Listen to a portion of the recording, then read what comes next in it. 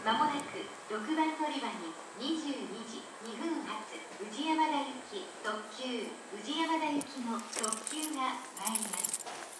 危険ですから黄色い線までお下がりください。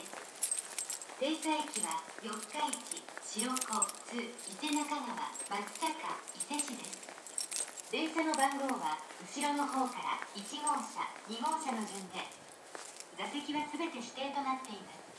特急券の指定番号の席にお座りください。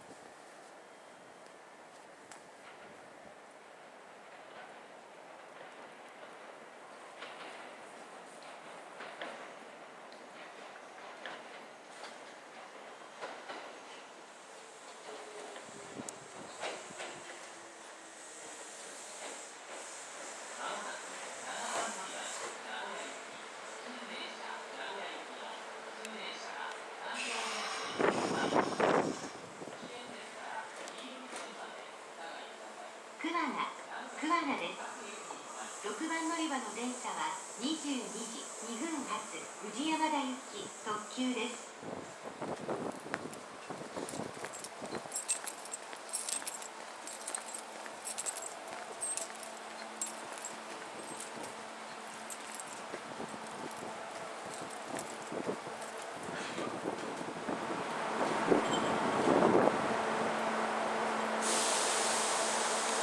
6番乗り場から宇治山田行き特急が発車します。